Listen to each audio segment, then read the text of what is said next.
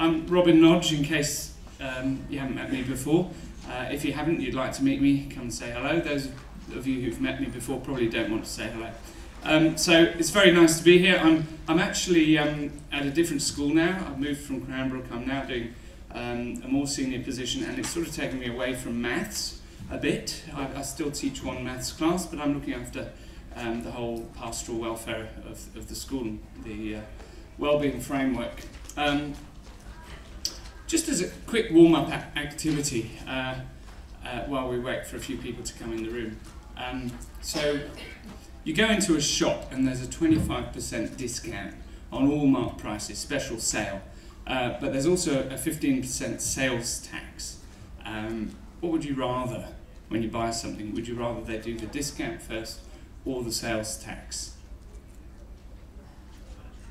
Would you like them to do the discount then put sales tax on, or is it better if they do the sales tax and then the discount? Okay, well we'll have a vote, and, and obviously you're maths teachers, uh, but hands up you reckon probably sales tax first? Okay. How, how many reckon that the discount should be applied first? Okay, how many don't think it makes any difference? Wow. And how many didn't put their? And how many didn't put their hand up because there's a good reason, because you've got a broken hand or it's really bad. oh, we have one! okay. Round of applause, thank you. Um, now that's really interesting because you're maths teachers. Um, but I, I quite often do that with my students. And, and of course, the way we teach percentage um, sometimes is a little bit formulaic. Um, we get them to do something over 100 and add it on and take it off and all that. But really, what you're doing when you're taking off 25% is you're multiplying by 0.75 because you're finding 75%.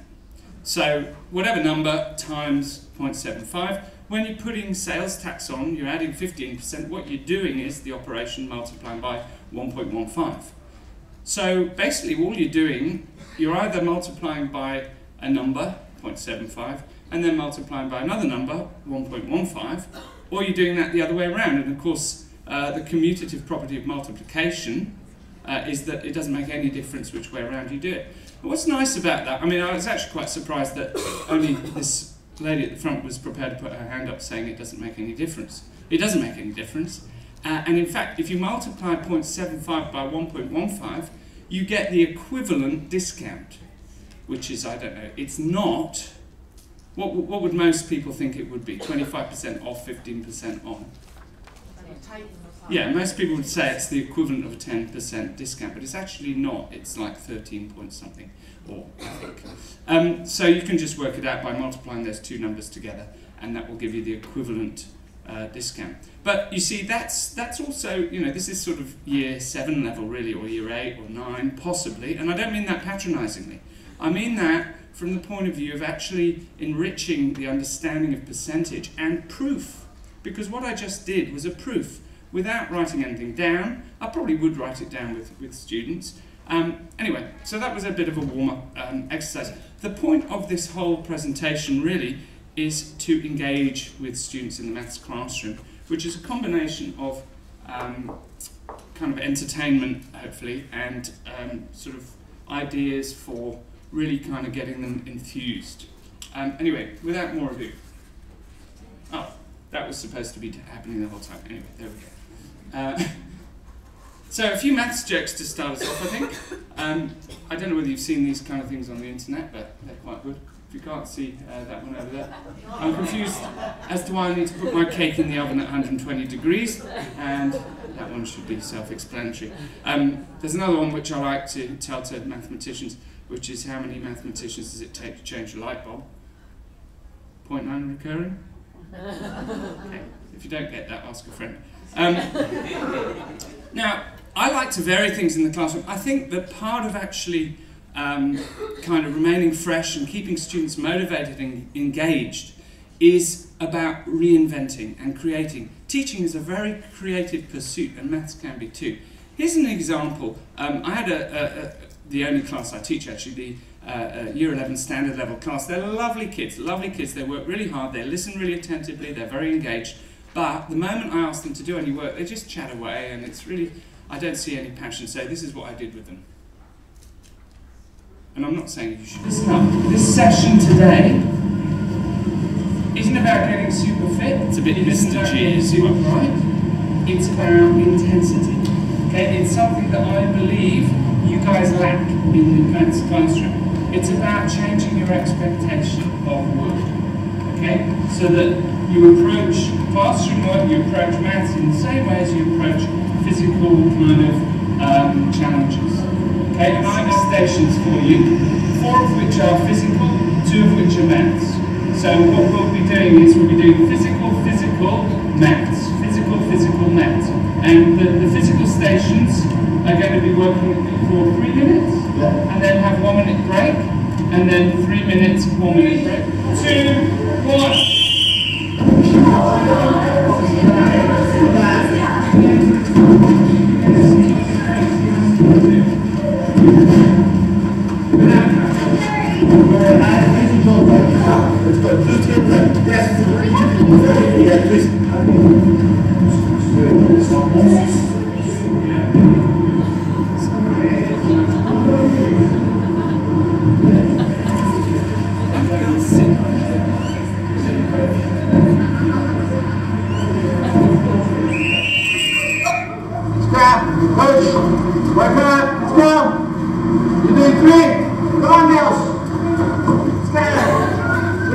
Stand down. One. Right. Hey, go down. Go. Run to the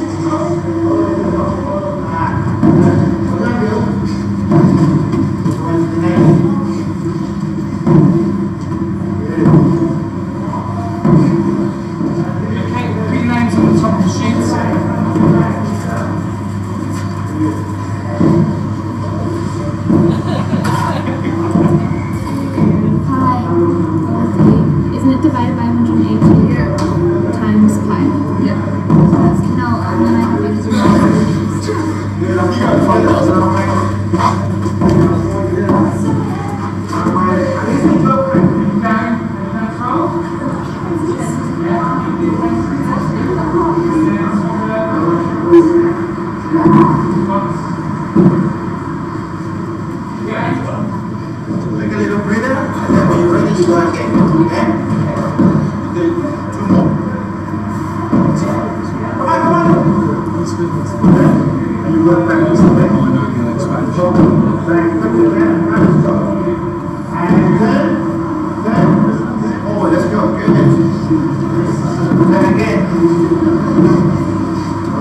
Work. Okay, back again. Yellow, and back. Okay, back.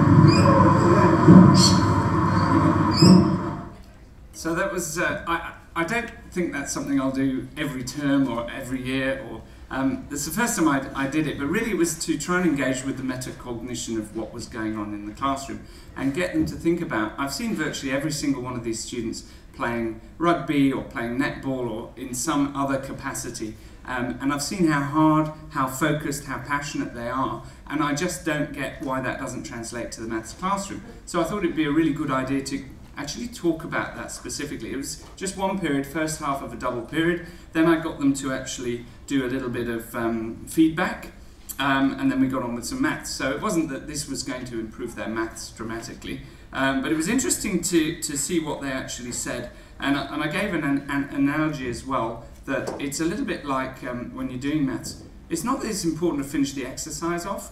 It's just important that the quality of the work and the, what you're doing in that session is, is really kind of uh, high quality and focus. Um, a little bit like uh, I can remember when I had a personal trainer for the first time, and he said, you know, I had to do three times 10 reps. And on the eighth rep of the third set, I couldn't go on. And I sort of felt that was a failure. And then he explained, no, that's exactly what we're trying to do. We're trying to actually exhaust the muscle, and we've succeeded. The, the point in having the three times 10 reps is, is a goal. It doesn't mean that if you don't achieve it, you've, you've failed in what you're trying to do. So it's the same thing with maths, same thing with doing exercises in class.